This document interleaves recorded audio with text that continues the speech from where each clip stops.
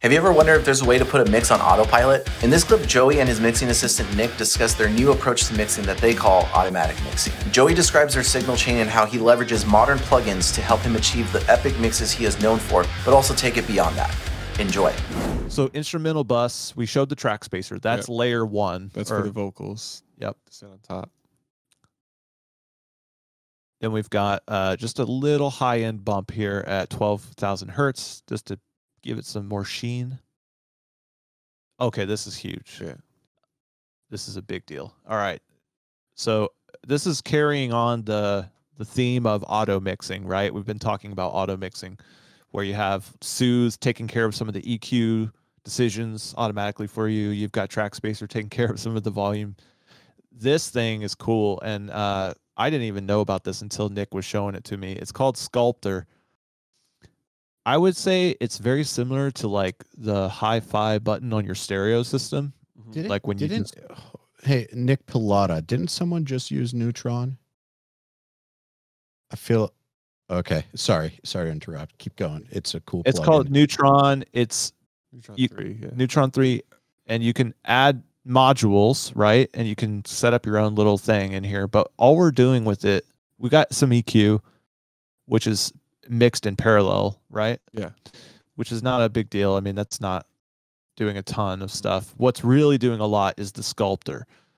And I don't really know what's going on here because I didn't program this plugin, but it's badass. So show it with and without the sculptor because it it's insane how much of a difference it makes. So,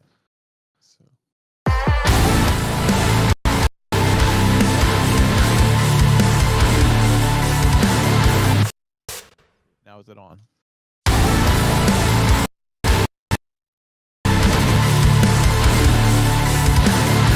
just to exaggerate what it's doing.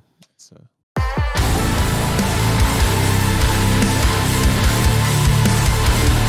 So this is an exaggerated. We've got it at 100. I think in the final mix it was at 30. yeah, But in the, just to show you what it's doing, put it on 100 and then just like play, I don't know, play the breakdown, the Yeah. chorus, anything. You can see that what it's doing is it's just hyping the mix, Mhm. but it's doing it dynamically. It's not like a static hype. yeah. It's- that's why I really love it.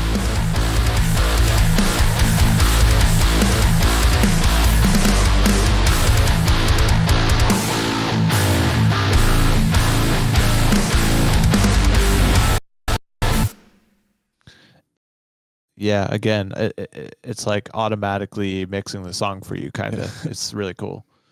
Um, so there's that, and then it goes into this uh, OG compressor, the Oh, VBC. yes.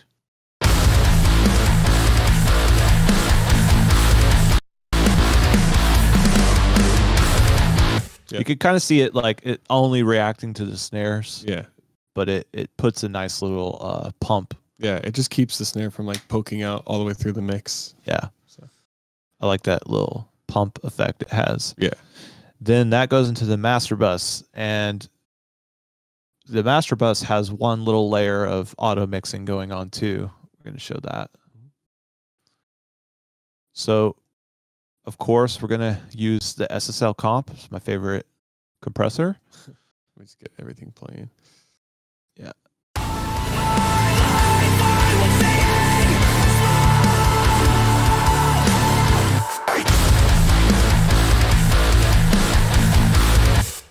And just 2 dB is all you need. It's just enough to glue everything together and make it nice and fat.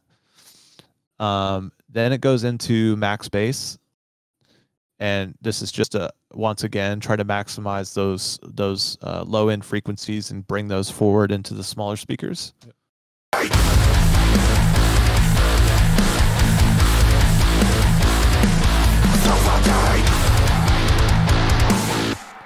Then we get into uh, another slightly auto mix kind of thing, which we use a linear phase multiband compressor to level out the individual e- uh, e- equalizer frequency ranges, um, so that they're more even with each other. Yeah. It's like if if the if the song starts to get out of control in let's say between 128 hertz and 500 hertz, that compressor is there to push it down without destroying the other parts of the mix.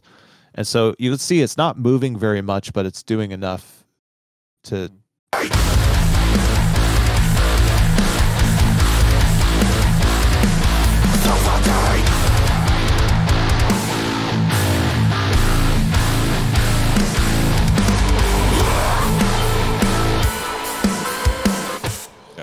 and and like when I watch that visually and and know in my head, I know in my head what's going on in the song. Like for example, in that breakdown, there's a bass synth.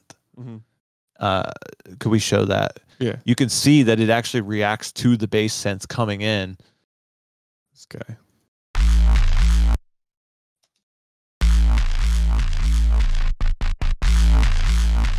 See how it. Go ahead and stop. Yeah. See how it pulls it down and doesn't let it take over the mix. That's so important to have these these fail safes throughout your mix because it's like preventing you from from basically fucking it up. I mean, Yeah. it's like you can throw anything you want into the mix, but it's gonna just it's just gonna be like, nope, you you have too much there. I'm gonna push you down a little bit. And so by having the track spacer layers, the multi-band compressor, the soothe, it the the song can't get out of control no Yeah. matter what we do to it. And that's really kind of the the magic of what we've been doing now versus what we used to do. Uh, and then it goes into ozone. And this is the if you guys have watched any of my nail the mixes, this is still the same. Yeah, it's the same settings, just a new version. We've got the same EQ, same imager, same exciter, same maximizer. But for those of you who haven't seen it, we can just show it. Through each one. Yeah. EQ's not even doing anything. EQ is nothing on this one. Uh, sometimes we'll use that EQ stage as a final mastering EQ. So if we need to add a little more high end, we'd do it there. Yep. Um, on the imager, we're just using this to uh, make sure that the low end is mono. We don't want the low end to to go stereo at all because it, it's more powerful in mono Yep. So anything below 120 just gets centered. centered.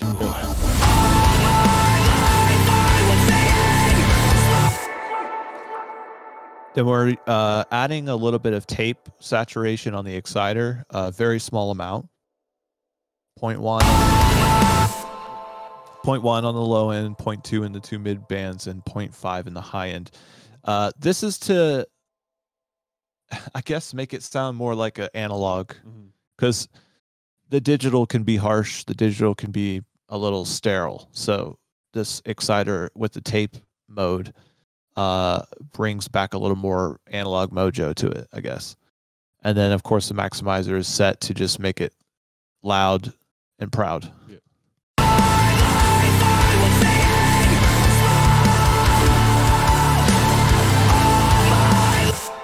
And these are the settings. I mean, I've been using these settings for like a decade. Like they just work with whatever you're doing, pretty much. that's that's literally it. That's the whole song.